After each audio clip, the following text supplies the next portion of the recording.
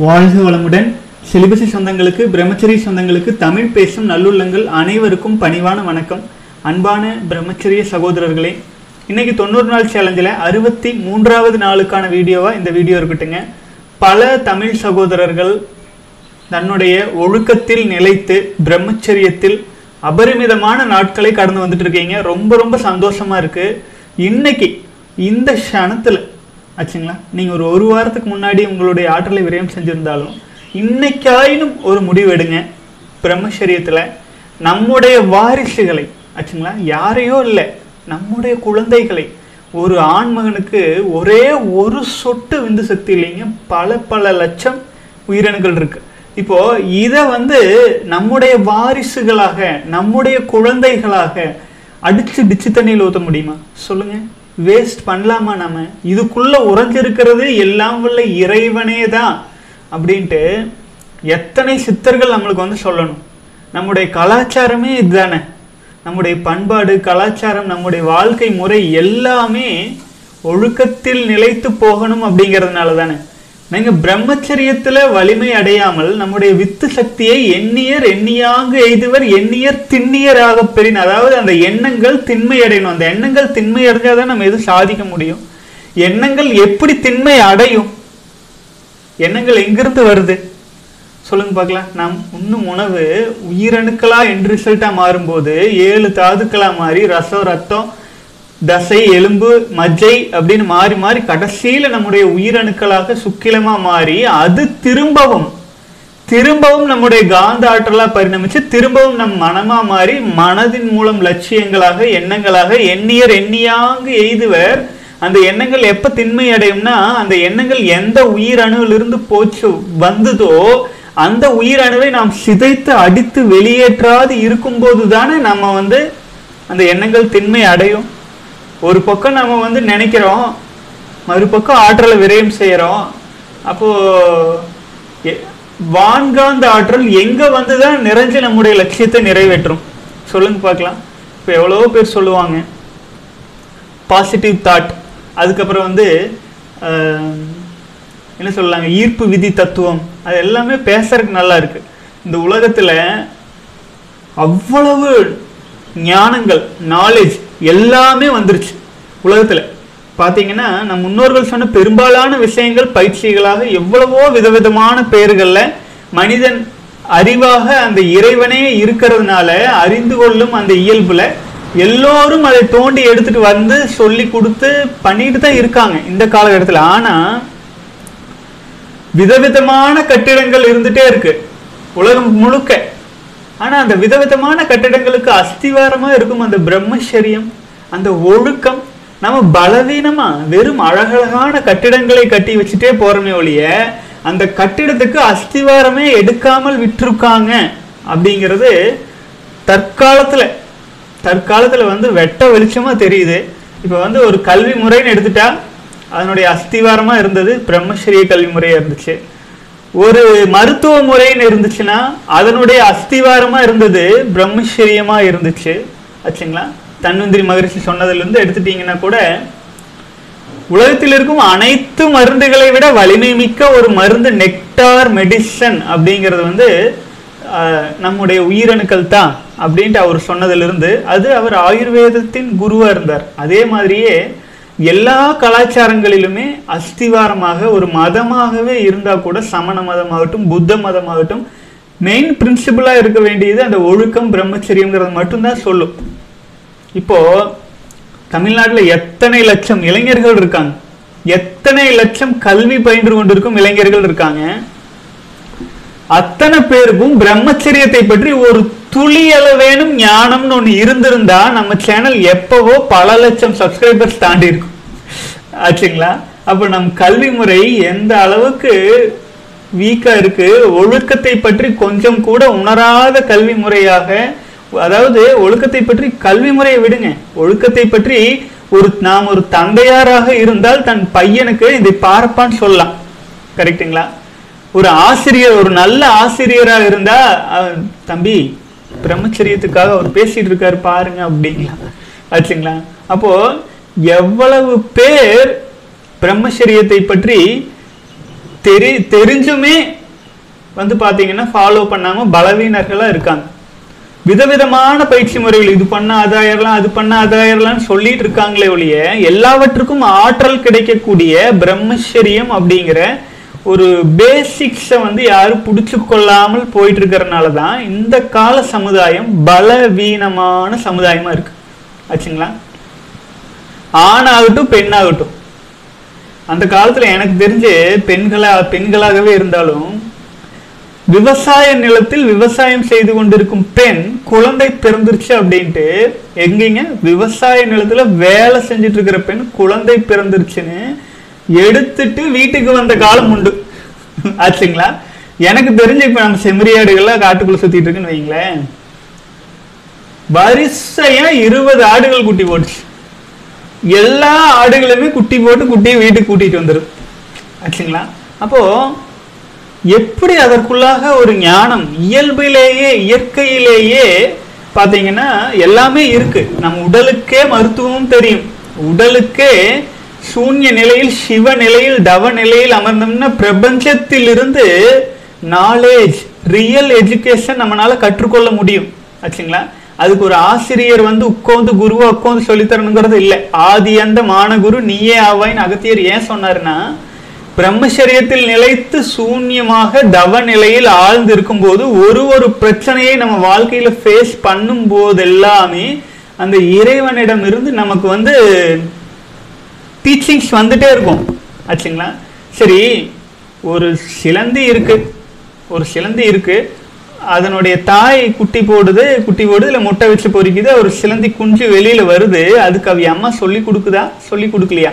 அதை பற்றியெல்லாம் தெரியாது. அதுக்கு ஒரு சிலந்தி வந்து குட்டியே வந்த உடனே கொஞ்ச நாள் ஆனோடனே அதுவே வலை பின்ன ஆரம்பிச்சிருது. யார் சொல்லி கொடுக்குறாங்க அதுக்கு? அது பிறக்கும் போதே அதனுடைய உடல் காந்தத்திலேயே அது பதிஞ்சிருக்குதா அப்படின்னா அதற்கு தேவை வரும்போது அது ஆட்டோமேட்டிக்காகவே இறைவனை இறைநிலையிலிருந்து கனெக்ஷன் கிடைத்து அது இயல்பாக வலை பின்னுது ஒரு வலை இல்லாமல் இல்லாமங்க அதில் ஒரு ஓட்டையாகும். அதுக்கு எப்படி பேட்சிங் போடுறது? இதெல்லாம் எப்பேற்பட்ட எஜுகேஷன் சொல்லுங்க பார்க்கலாம். அந்த எஜுகேஷனை அந்த சிலந்திக்கு அது இத்தினி உடம்பே இத்தினி அதுக்குள்ளே மூளை எத்திச்சோடு இருக்கும் அதுக்குள்ளே எல்லா விஷயம் தெரிஞ்சால் வந்திருக்கும். அதுக்குள்ளே உணவு தேடுறது அந்த உணவு செரிக்கிறது அதுக்கப்புறம் அடுத்து தன் இனத்தை பெருக்குவதுன்னு எத்தனை நாலேஜ் இருக்குது எல்லாம் அந்த சிலந்திக்குள்ளே இல்லை. சிலந்திக்குள்ளே வந்து ஈர்ப்பு திறன் இருக்குது. அது கொடுக்கும் திறனாக அந்த பிரபஞ்ச வெளியிலிருந்து ஆற்றல் இழுத்துக்கும். அதே மாதிரிதான் ஒரு மனிதனுக்கு தேவை ஏற்படும் போது அதற்கான சொல்யூஷன்ஸ் அந்த இறைவனே கொடுக்க ஆரம்பிச்சிருவான்.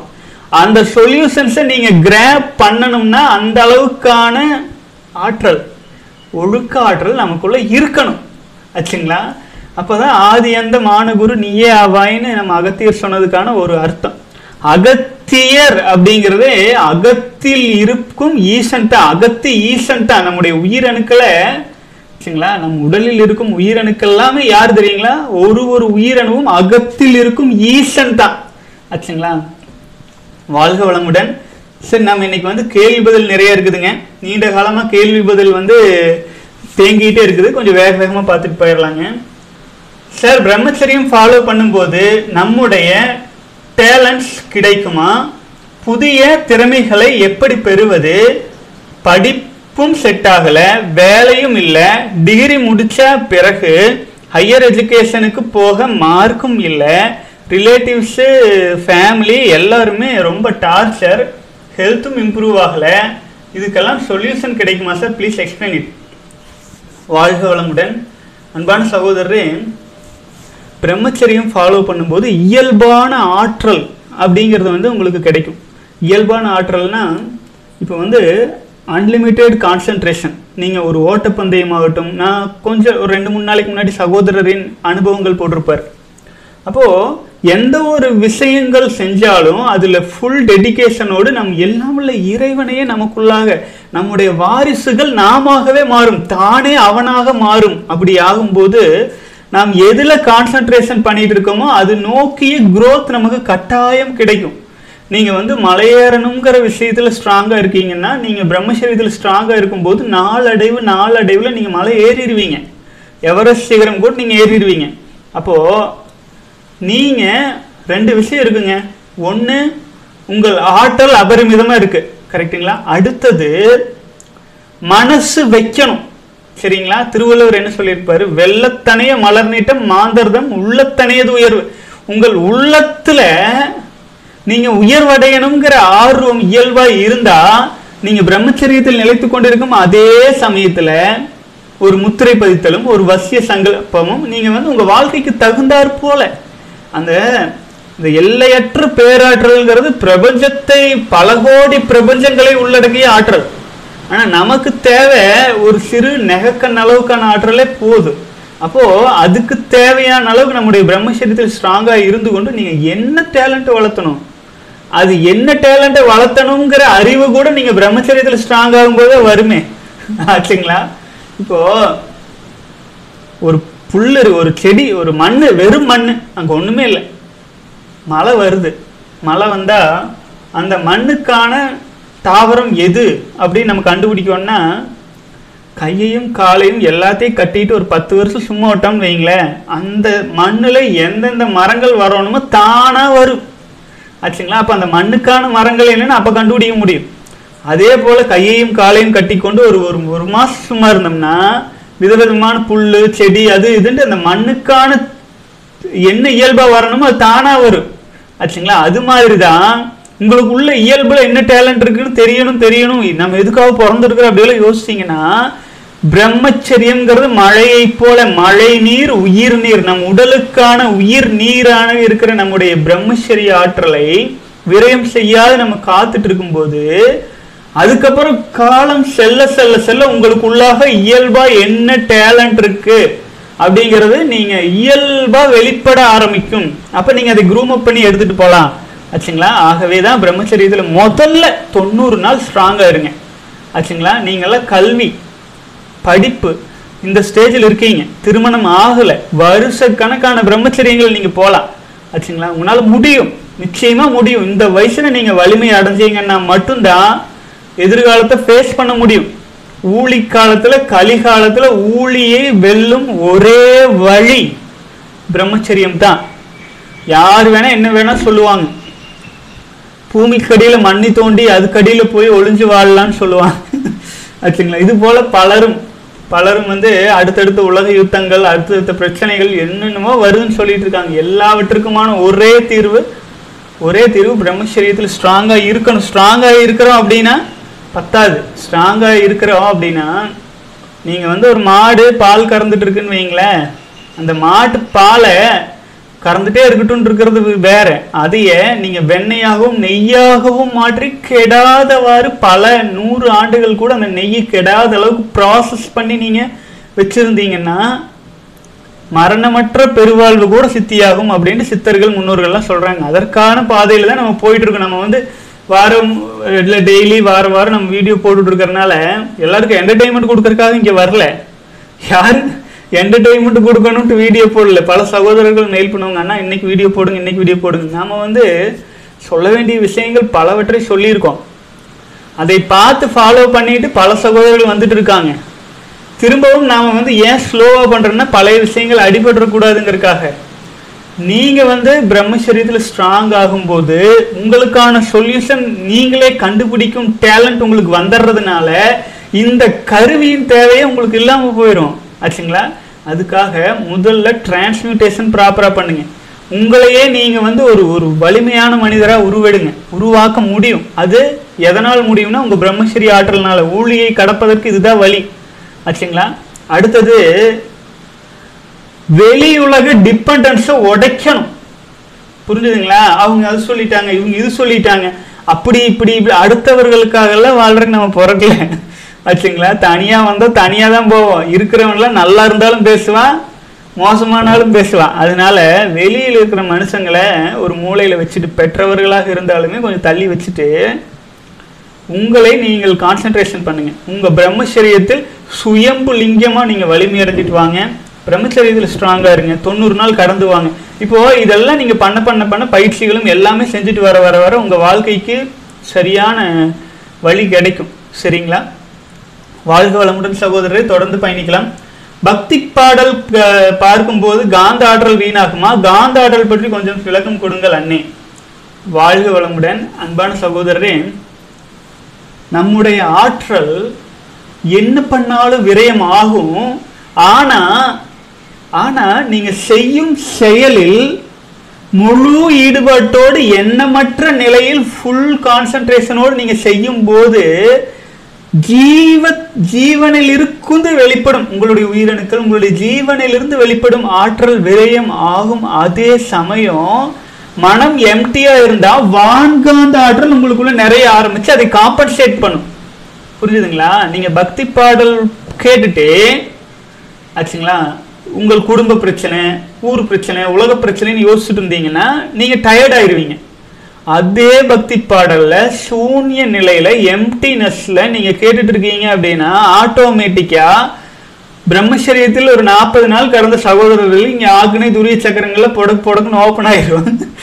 அப்போ இந்த கவனம் முழுக்க முழுக்க மேல்நிலை சக்கரங்களில் வந்துடும் மேலை துவாரத்தில் மேல்மனம் வைத்திரு. வேலொத்த வெளியை வெளியில் விழித்திரு. காலத்தை வெல்லும் கருத்து இதுதானேன்னு திருமந்திரத்தில் சொன்ன மாதிரி நடக்கும்.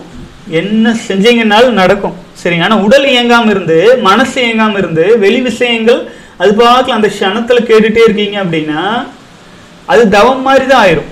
சரிங்களா? ஆகவே ஆற்றல் விரயம் ஆகுதா ஆகலையான்னு உங்களுடைய மன அளவிலும் உடல் அளவிலும் கவனமாக கொஞ்சம் பார்த்தீங்கன்னா உங்களுக்கு தெரிஞ்சிடும் சரிங்களா? வாழ்க வளமுடன் விந்து விந்துஜயம் பயிற்சி பெனிஃபிட்ஸ் சிக்ஸ் மந்த்ஸ் இதில் வந்து சில சகோதரர்களுக்கு நிறைய பேர் இது கேட்குறாங்க நான் பலமுறை முதல்ல விளக்கம் கொடுத்துருந்தேன். அதாவது சகோதரர் கேட்குறாரு ஆனால் விந்துஜயம் பயிற்சி ஆறு மாதம் செஞ்சால் சரி ஒரு த ஒரு நாள் முழுக்க செஞ்சால் ஆறு மாதம் குண்டலினி தவம் செய்வதற்கிணையான வலிமை கிடைச்சிரும். அப்படின்னு நீங்கள் சொல்லியிருக்கிறீங்களேங்கன்னா உண்மையா உண்மையா அப்படின்னு கேட்டே இருக்காங்க. நான் அதுதான் சொல்கிறேன் ஒரு பாட்டிலில் தேன் இருக்குது புரிஞ்சுதுங்களா? ஒரு தேன் இருக்குது அந்த ஒரு பாட்டில் தேன் எத்தனை மலர்களை உள்ளடக்கியதுன்னு கேட்டீங்கன்னா லட்சக்கணக்கான மலர்களை உள்ளடக்கியது. கரெக்ட்டுங்களா? இது போல தான் விந்துஜயம் பயிற்சி அப்படிங்கிறது உங்களுடைய ஆற்றலை அப்படியே டிரான்ஸ்மிட்டேஷன் பண்ணி ஒரு பாலை நெய்யாக மாற்றுவது. ஒரு பாலை நெய்யாக மாற்றுவது. ஒரு மலரை தேனாக மாற்றுவது. ஒரு நாள் முழுக்க நீங்கள் செய்யும்போது ஆறு மாத காலம் அத்தனை மலர் பூக்கும் மலர்களுக்கு இணையான ஒரு தேன் பாட்டிலில் வந்துடுது இல்லைங்களா? அதே மாதிரி தான் விந்துஜயம் பயிற்சி அப்படிங்கிறது அன்னன்னைக்கு உற்பத்தி ஆகிட்டு இருக்கிற மாற்றலே அது டிரான்ஸ்மியூட்டேஷன் பண்ணிட்டு இருக்கும். புரிஞ்சுதுங்களா? இது நீங்கள் ஒரு பத்து வருஷமாக நீங்கள் பண்ணாமல் இருக்கீங்க ஆ, ஸ்ட்ராங்காக இருக்கீங்கன்னா அந்த ஆற்றலை டிரான்ஸ்மியூட்டேஷன் பண்ணி வந்துடும் அதுக்கப்புறம் அன்னன்னைக்கு ஆகிட்டு இருக்கிற ஆற்றலை டிரான்ஸ்மியூட்டேஷன் பண்ணிகிட்டே இருக்கும். இதான் விந்துஜயம் பயிற்சி ப்ராக்டிஸ் அதுக்காக தவம் பண்ண வேண்டியது இல்லையா? அதுக்காக குன்- எந்த மெடிடேஷனும் பண்ண வேண்டாம். நீங்க விந்துஜயம் பயிற்சி மட்டும் பண்ண போகுது அப்படின்னா அப்படி இல்லை. நீங்க விந்துஜயம் பயிற்சி செய்யற அந்த ஒரு நாளில் முழுமையாக குண்டலினி தவமோ எந்த தவம் நீங்க செய்கிறீங்களோ அதையும் செஞ்சிருக்கணும். புரிஞ்சுதுங்களா? சரி ஏன் அது சொல்கிறேன்னா சொல்றேன்னா உங்களுக்கு வந்து மலரும் தேவை தானே. வெறும் தேன் மட்டும் வச்சு என்ன பண்ணுவீங்க? மலரும் உங்களுக்கு தேவை. மலருக்கு ஒரு கோவிலுக்கு போகிற ஒரு ஒரு சிவலிங்கத்துக்கு பூஜை பண்ணுறாங்கன்னா தேன் ஊற்றி பூஜை பண்ணுவாங்க. ஆனால் மலர் இல்லாமல் பண்ணுவாங்களா? மலரும் வேணும். ஆச்சுங்களா? இப்போ ஒரு உவமையாக சொல்லுவதற்காக சொல்றதுதான். புரிஞ்சுதுங்களா? இப்போ வந்து மலரில் இருக்கும் அந்த இனிப்பு தித்திப்பான மகரந்தத்தை தான் தேனை மாத்துறாங்க. அந்த மலரையவே மாத்துறது இல்லை கரெக்ட்டுங்களா? அதே மாதிரி தான் நீங்க மெடிடேஷன் பண்ணும்போது தவம் பண்ணும்போது நம்முடைய உயிர் அணுக்கள் வந்து கொஞ்சம் கொஞ்சமா டிரான்ஸ்மியூட்டேஷன் ஆகி மேல்நிலை சக்கரங்களுக்கு போகுது. புரிஞ்சுதுங்களா? கொஞ்சம் கொஞ்சமா டிரான்ஸ்மியூட்டேஷன் ஆகுது. மெது மெதுவா. குண்டலினி தவம் ஆகட்டும் எந்த தவம் ஆகட்டும் உயிராற்றல் மூலாதார சக்கரத்துல பெரும்பாலும் எல்லாருக்கும் இருக்கு. மேல்நிலைக்கு வர்றது கூட இல்லை. கீழேயே தான் இருக்கு. சிலர் வந்து பாத்தீங்கன்னா மெடிடேஷன் பயங்கரமா பண்றாங்க. பிரம்மச்சரியத்துல ஓரளவுக்கு ஸ்ட்ராங் சுத்தமாகவே அதை பற்றி என்னென்னு தெரியறதில்லை. ஆறு மாசமா மெடிடேஷன் பண்ணிட்டே இருக்கிறாங்க. அப்போ அவர்கள் ஆற்றல் மூலாதார சக்கரத்திலேயே இருக்கிறதுனால பொன் பொருள் மயக்கம் பெண் இப்படியே ஓடிட்டு இருக்காங்க. அப்போ விந்துஜயம் பயிற்சி அப்படிங்கிறது வந்து நீங்க அப்படியே நம்ம மேல்நிலையில் எடுத்துட்டு வந்து பிரம்மச்சரிய ஆற்றலோடு நம்ம நிலைநிறுத்தி பண்றதுனால உங்களுக்கு அபரிமிதமாக மேல்நிலை சக்கரங்கள் ஆக்டிவேஷன் ஆயிரும் விரைவில். அப்போ மலர் அப்படிங்கிறது அதாவது உயிரணுக்களை கொஞ்சம் கொஞ்சமா மேலே ஏற்றிட்டு வர்ற அந்த தவ முறையிலிருந்து விடுபட்டு நம்ம சர்ரென்று மேலே கொண்டு வந்துடுறோம்.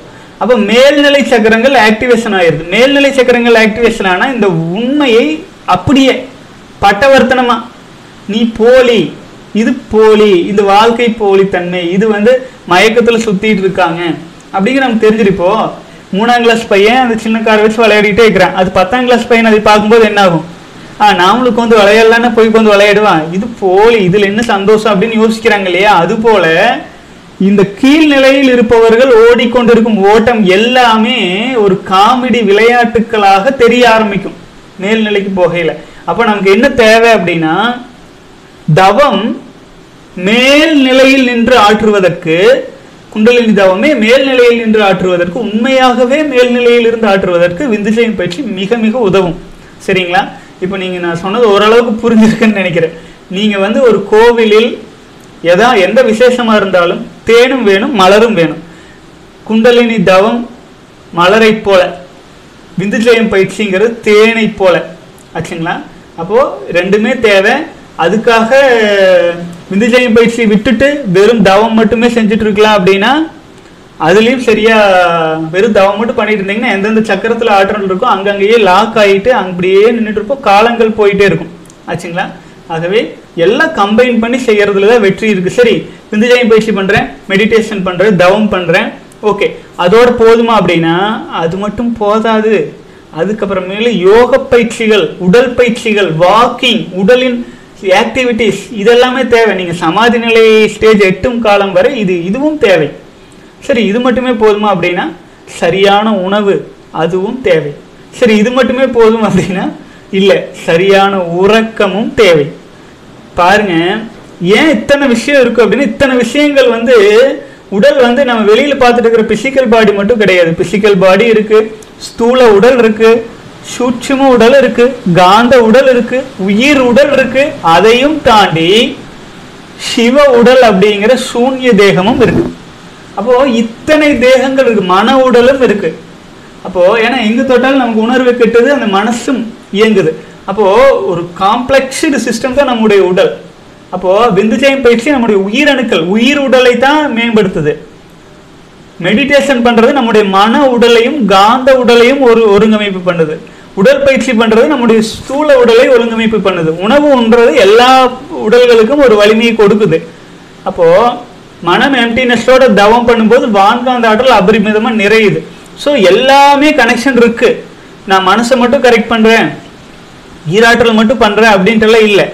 ஆச்சுங்களா? ஒவ்வொன்றுக்கான பெனிஃபிட்ஸ் இருக்கவே செய்து ஆகவே ஆகவே எல்லா பயிற்சிகளிலும் முறைய கவனம் பண்ணி எல்லாம் லேர்ன் பண்ணிக்கிங்க உங்கள் உடலும் மனசும் உயிரும் எது கேட்குதோ அதை அப்பப்போ செஞ்சு செஞ்சு செஞ்சு கொண்டு வந்துட்டுருங்க இயல்பாகவே பிரம்மச்சரிய நாட்கள் அதிகரிக்க அதிகரிக்க அதிகரிக்கவே உங்களுக்கு தீர்வு கிடைக்கும்.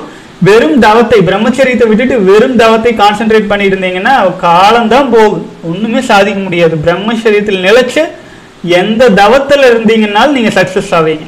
ஆச்சுங்களா? வாழ்க வளமுடன். அடுத்தது வந்து பார்த்தீங்க அப்படின்னா சகோதரர் கேட்டிருக்காரு பிரகாசனா மை ஏஜ் இஸ் இருபது.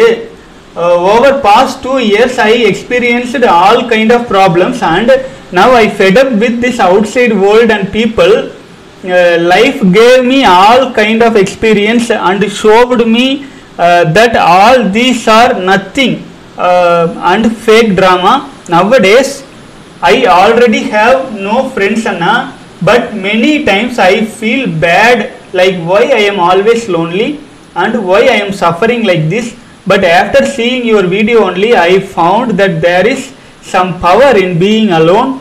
currently I am following celibacy 38 days but I have lots and lots of doubts and confusion in my mind keep on changing and uh, jumping from one thought to another sometimes it make me feel some happy sometimes it make me feel sad but i want to follow celibacy i i want to reach uh, ultimate god na should i do an வாழ்க வளமுடன் i don't even use social media i mostly spend my time apart from studying and uh, in temples in jiva jiva samadhi i want peace and i want uh, to see the god kindly tell me shall i continue to be alone but many people are nowadays coming to talk with me but i want to be alone uh, shall i be alone and follow celibacy when can i find true peace and happiness in mind Anna please reply வாழ்க வளமுடன் அன்பான சகோதரரே சகோதரருக்கு இருபது வயசாச்சுங்க. ஒரு முப்பத்தி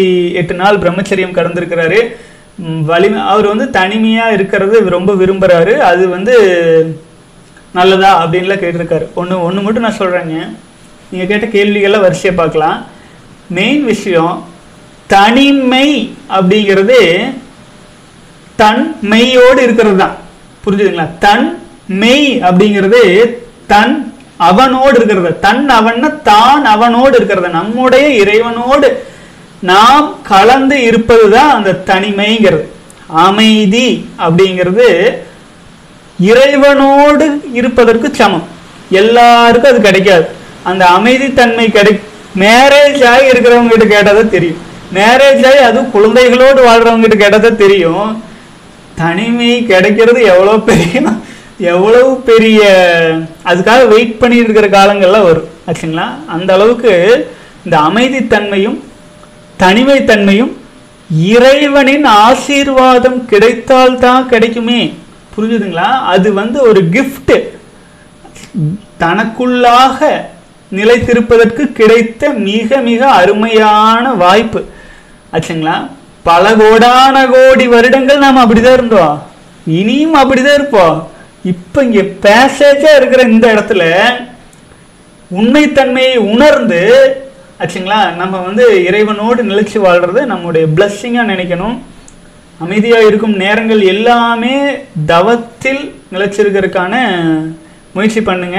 தவம் செய்யாமல் சுத்திட்டு இருக்கிற ஃப்ரெண்டு ஃப்ரெண்டுன்னு சுத்திட்டு இருக்கிற சொந்த பந்தன் சுத்திட்டு இருக்கிற எல்லாம் அவத்தில் வாழ்ந்துட்டு இருக்காங்க. புரியுதுங்களா? தவத்தில் வாழாத அனைவருமே எப்பேற்பட்ட ஆணிகளை பிடுங்கிட்டு இருந்தாலும் அவத்துல தான் வாழ்ந்துட்டு இருக்காங்க. ஆச்சுங்களா? ஒரு சிலருக்கு வந்து இது வருத்தமா இருக்கலாம். ஆனா உண்மை அதுதான். ஆச்சுங்களா? அறிவு இருக்கிறவங்க அறிவுல தெளிவு இருக்கிறவங்க இந்த வாழ்க்கையில் நிலையாமையை உணர்ந்து கொண்டு தவத்திலும் ஒழுக்கத்திலும் வாழ ஆரம்பிச்சிருவாங்க சித்தர்கள் மாதிரி. அது இல்லாதவங்க தான் இந்த உலக விளையாட்டுக்கள்ல ஓடி ஓடி ஓடி ஓடி ஆற்றல் விரயம் பண்ணிட்டு இருப்பாங்க. இறைவன் அதுக்கு ஒரு காலம் கொடுப்பாரு. ஒரு சிலருக்கு இருபது வயதில் உங்களை மாதிரி கொடுக்குறாரு. ஒரு சிலருக்கு இந்த காலகட்டத்தை அடைவதற்கு எழுபது வயசு வரைக்கும் வெயிட் பண்ணணும். ஒரு இப்படிதான் போயிட்டு இருக்கு. ஆச்சுங்களா? ஆகவே பிரம்மச்சரியத்தில் ஸ்ட்ராங்கா இருங்க. இருபத்தி அஞ்சு வயது வரை உங்களுக்கு உடல் வளர்ச்சிக்கே காலங்கள் இருக்கு. மன வலிமையோடு பிரம்மச்சரியத்தில் ஸ்ட்ராங்காவாங்க அப்புறம் மனசு. மனசை மனதோடு விளையாடிட்டு இருக்கிறோம் இல்லைங்களா? அதுக்கெல்லாம் ஒரு முற்றுப்புள்ளி வைக்கிறதுக்காக நான் ஒரு தவ முறையை நான் பப்ளிக்காக யூடியூப்லேயே சொல்கிறேன் இது ஆல்ரெடி முப்பது நிமிடம் ஆனதுனால அதுக்கு காலம் பத்தாது. அது ஒரு மிக எளிமையான ஒரு தவ முறை நான் உங்களுக்கு எல்லாருக்கும் சொல்லித்தரேன் அது ரொம்ப எளிமையாக இருக்கும். அடுத்த வீடியோஸில் மோஸ்ட் ப்ராப்ளி நான் அதை சொல்கிறேங்க வாழ்க வளமுடன். மன வலிமையோடு பிரம்மச்சரியத்தில் ஸ்ட்ராங்காக தனிமையில் தொண்ணூறு நாள் வரை கடந்து வாங்க. தனிமை கிடைச்சது மிகப்பெரிய வாய்ப்பு. வெளியில் நண்பரை வச்சிருந்தாலும் சரி வெளியில யார் மேல அஃபெக்ஷனாக இருந்தாலும் சரி அது எல்லாமே இறைவனை நெருங்குவதற்கான தடை கற்கள் அப்படின்னு நம்ம எப்போ புரிஞ்சுக்கிறோமோ? ஆச்சுங்களா நம்ம வெளி உலகத்தில் எந்த விஷயத்து மேல? பெற்றோர்களாக இருந்தாலும் சரி மனைவியாக இருந்தாலும் சரி நண்பர்களாக இருந்தாலும் சரி எது மேலேயும் எது மேலேயும் நம்ம பற்று வச்சிருக்கிறோம் அப்படின்னா எது மேலேயும் நம்ம அஃபெக்ஷனேட் ஆகி நம்ம மன ஆற்றல் அங்கே விரயம் செய்கிறோம் அப்படின்னா அப்போ இறைவனிலிருந்து விடுபட்டு தான் இருக்கோம். புரிஞ்சுதுங்களா? அப்போ இறைவனோடு நீங்க எப்போ இருக்கீங்க அப்படின்னா தன் மெய்யில் தனி மெய்யில் தான் அவனாக பிரம்மஸ்ரீ ஆற்றலோடு இணைந்து தவத்தில் இருப்பது தான் நிலை. ஆச்சுங்களா? அது எல்லாருக்கும் கிடைக்காது. கிடைச்சவங்க அதை அனுபவிச்சு இறைநிலையை நோக்கிய பயணத்துல வீரமா வெற்றிகரமாக போயிட்டு இருக்கலாம் வாழ்க வளமுடன் சகோதரன் ஆனால் நேரம் கிடைக்கும் போது விளக்குங்கள். சகோதரர் பெயர் போட்டிருக்காரு வயது பத்தொன்பது போட்டிருக்காரு. நான் இருநூற்றி எண்பது நாட்கள் கடந்துள்ளேன். முதலில் அனுபவத்தை பகிர்ந்து கொள்கிறேன். இரண்டரை வருடம் முயற்சி செய்து இப்போது வெற்றி பாதையில் சென்று கொண்டிருக்கிறேன். தவம் மற்றும் விந்துஜயம் பயிற்சி தொடர்ந்து செய்து வருகிறேன். முக்கியமாக சூரிய தவம். இதனால் ஆற்றல் பல மடங்கு பெருகியுள்ளது. எனக்கு கிடைத்த பலன்களில் சிலவற்றை சொல்ல ஆசைப்படுகிறேன். எப்போதும் அதீத ஆற்றல் எப்போதும் நேர்மறையான எண்ணங்கள் மிகுந்த தன்னம்பிக்கை மன நிம்மதி தவத்தில் நல்ல உணர்வு இன்னும் எம்மை என்னை மேம்படுத்த சொல்ல இயலாத பல வழிகள் கிடைத்துள்ளன. வாழ்க வளமுடன். மற்றும் சில சந்தேகங்கள் அண்ணா. அண்ணா அமிர்த தவம் செய்யும் போது நான் நாக்கை மேலெண்ணத்தில் மடக்கி வைக்கிறோம் அல்லவா? அது நாம் இயல்பாக எவ்வளவு உள்ளே தொட வேண்டும்? அவ்வளவு தொட வேண்டுமா? இல்லை நாக்கின் நுனியை மேல் உள்ளே தொட முடியும்? நாக்கின் நுனியை மேல் முடிந்த அளவு வழியாகாத அளவில் உள்ள வச்சு நம்ம தவம் செய்யும்போது அந்த நாக்கின் நுனி டச் ஆகுது இல்லைங்களா? அதிலிருந்து ஒரு ஒரு இன்ச்சுக்கு மேலே தலையில் மூளை மனோன்மணிய சக்கரம் இருக்கு. புரிஞ்சுதுங்களா? அந்த மனோன்மணிய சக்கரத்திலிருந்து அமிர்தம் சொட்ட துவங்கும். அது பிரம்மச்சரிகளுக்கு தான் சொட்டும் ஆச்சுங்களா? பிரம்மச்சரியத்தில் ஒழுக்கத்தில் நிலைச்சிருக்கிறவங்களுக்கு சொட்ட ஆரம்பிக்கும். அது அதுக்கு மட்டும் சொட்டாது. உங்கள் கவனமும் மனம் எம்டினஸ்ல இருக்கும்போது மேல்நிலை சக்கரங்கள் ஆக்டிவேட் ஆகி வான்காந்ததில் கங்கை சிவனின் தலையிலிருந்து கங்கை வருதுங்கிறாங்க பார்த்தீங்களா? அந்த கங்கை உங்களுக்குள்ளாக அமிர்தமாக மாறும். ஆகவே அது வந்து நீங்கள் மேல் எண்ணத்திலேயே வைத்து கொள்ளலாம். வாழ்க வளமுடன் சகோதரரே இயன்ற அளவு தான் எதுலேயுமே பெயின் வர்ற அளவுக்கு பண்ணக்கூடாது. ஓரளவுக்கு உள்நோக்கி மேல் எண்ணத்தில் வச்சுக்கலாம். நான் வாயின் உள்ளாக இரண்டு கண்கள் இருக்கும். ஆச்சுங்களா? இரண்டு கண்கள் இருக்கும். அது நெருங்கினாப்பில் வைக்கணும். சரிங்களா? ரெண்டு பக்கம் இரண்டு கண்கள் இருக்கும். அதுக்கு நடுவில் நெடுங்கு நெருங்கினாப்பில் வைக்கணும். வலி ஆகாத அளவு தூரத்தில் வச்சுட்டு கவனத்தை மேலே அதாவது மூளை பகுதி அல்லது அதற்கு மேலே எம்டினஸ் மனசோடு இருக்கிறதுக்கு ஆரம்பிச்சிடணும். சரிங்களா? அப்போ தான் வந்து பார்த்தீங்கன்னா அந்த ஆற்றல் உங்களுக்கு அமிர்தமாக மாற ஆரம்பிக்கும். வாழ்க வளமுடன். ஆனால் அமிர்தம் செய்யும் போது நல்ல உணர்வு புருவ மத்தியில் உச்சந்தலையில் கிடைக்கிறது. ஆனால் ஊரின் ஊரும் அமிர்தத்தை விழுங்கும் போது அந்த உணர்வு மாறுகிறது. இது இயல்பா? இப்படி மாறும்போது ஆற்றல் உள்வாங்குவது தடைபடுமா? மேக்சிமம் உள்வாங்காமல் இருக்க பழகணும். ஆச்சுங்களா அது நீங்கள் உள்வா அதாவது தானாதானே வருது அமிர்தம். நமக்குள்ளாக சுரக்குது. அந்த அமிர்தத்தை தானா உடல் உள்வாங்கிக்கும். சரிங்களா? ஆரம்பத்தில் கொஞ்சம் கஷ்டமாக தெரியலாம் ஆனால் போக போக அந்த அமிர்தம் தானாக உள்வாங்க ஆரம்பிச்சிடும் வாயில் நிறையிற மாதிரி ஆயிடுச்சுன்னா அப்புறம் முழுங்கிக்கோங்க. கொஞ்ச நேரத்தில் மறுபடியும் நார்மல் ஸ்டேஜ் வந்துடும் ஆச்சுங்களா? இது நாட்கள் செல்ல செல்ல அந்த வாயில் தேங்காமல் தானாக உள்ளே போகிறதே நம்மளால் உணர முடியும். வாழ்க வளமுடன். அண்ணா எனக்கு தவம் செய்ய மிகவும் பிடித்திருக்கிறது. ஆனால் ஒரு அரை மணி நேரத்திற்கு மேல் இடுப்பு முதுகு எலும்பு வலிக்கிறது. இதை சரி செய்ய வழி உண்டா? நம்மால் வாரக்கணக்கில் மாதக்கணக்கில் எழாமல் தவத்தில் நிலைக்க முடியுமா? அதற்கான வழிமுறைகளை கூறவும். வாழ்க வளமுடன். சகோதரரே இடுப்பில் வலிக்குது முட்டியில் வலிக்குது. இதெல்லாம் ஏன்னா நீங்கள் தவத்தில் இருக்கிறதுனால மனம் வான்காந்த ஆற்றலை உள்வாங்கி கொண்டு இருக்கிறதுனால உடலில் இருக்கும் அந்தந்த இடத்துல இருக்கிற இட்சிங் பெயினிங் சென்சேஷன்ஸ்னால அங்கே இருக்கிற குறைபாடுகள் சரியாகுது. குறைபாடுகள் சரியாகும் போது வழியாக தான் இருக்கும். அப்போ அந்த வலி இருக்குதுன்னா அதை அப்படியே அக்செப்ட் பண்ணிட்டு சிறிது நேரம் தவத்தில் கண்டினியூ பண்ணிட்டே இருந்தீங்கன்னா அந்த வழிகள் தானாக மறைஞ்சிரும். எதுவுமே நிரந்தரம் அல்ல. எல்லாமே இம்பர்மனன்ட் ஆச்சுங்களா? அதை மட்டும் மனசில் வச்சுக்கோங்க. தானாக சரியாகும். சவம் செய்ய செய்ய செய்ய செய்ய உங்களுக்கு நேரங்கள் போகிறதே தெரியாது. நீண்ட நீண்ட நேரங்கள் உங்களால் தவத்தில் இருக்க முடியும். நாள் கணக்கு வாரக்கணக்கு இது எல்லாமே சாத்தியமாகும். அதுக்கு மனசு எம்டினஸ் ஆகி பிரம்மஸ்ரீ ஆற்றல் நிலை நிற்க நி- நிறுத்தி இருக்கிற காலத்துக்கு தகுந்தாற் போல் அது அதிகரிச்சுட்டே வரும். ஆகவே வந்து பார்த்தீங்கன்னா இது நம்ம பப்ளிக்காக பேச முடியாது. சமாதி நிலைக்கான தனி பயிற்சியை நம்ம எதிர்காலத்தில் சேர்த்துவோம். ஆயிரம் நாள் பிரம்மச்சரியமாச்சு கடக்கணும். நீங்கள் இப்போ தான் ஒரு இருநூற்றி எண்பது நாள் வந்திருக்கீங்களே அதனால் இன்னும் காலம் இருக்குது மன உறுதியோடு முயன்றவரை அப்படியே செஞ்சுட்டு வாங்க. எந்த உடலில் எந்த பெயின் வந்தாலும் அதை அப்படியே ஏற்றுக்கொள்ளுங்கள். அந்த அதில் இருக்கும் குறைபாடுகள் சரியாகும். அதுக்காக தான் அந்த மாதிரி வருது. வலின்னு ஒன்று வருதுனாலே அந்த இடத்துல இருக்கும் குறைகள் சரியாயிட்டு இருக்குதுன்னு நினைச்சீங்கன்னா தானாக நாளாக நாளாக அந்த வலி தானாக மறையிறக்க ஆரம்பிச்சிடும். வாழ்க வளமுடன். ஆனால் முதுகு எலும்பு முடியும் இடத்தில் பேருந்தில் பயணம் செய்யும் போது நீண்ட நேரம் அமர்ந்து பயணம் செய்தால் வலி ஏற்படுகிறது.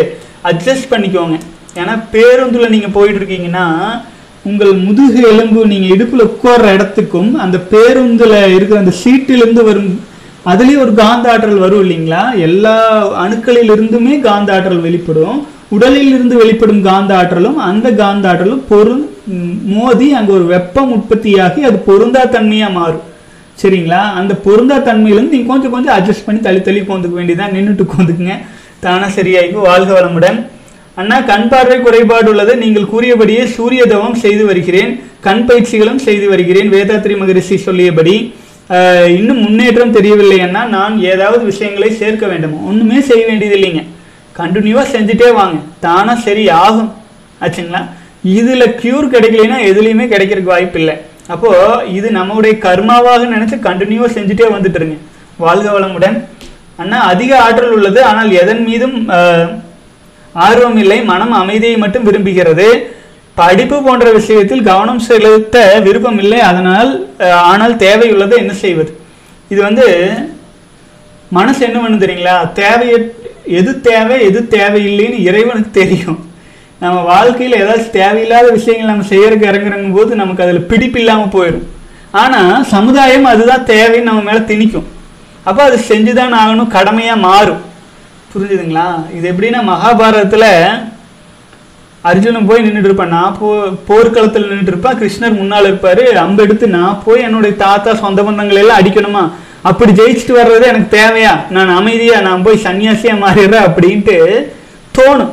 ஆனா அந்த சூழல் அந்த இடம் அந்த அந்த இடத்திற்கான ஒரு கடமைகள் அப்படின்னு ஒன்று இருக்கு இல்லைங்களா? அதாவது தனிப்பட்ட முறையில் ஒரு மனிதனாக இறைவனை நோக்கி போகிறது தான் நம்ம பிறந்திருக்கோம்.